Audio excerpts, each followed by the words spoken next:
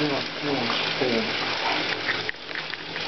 Jak się, wła- jak się włącza? Jeszcze raz na nagrywanie.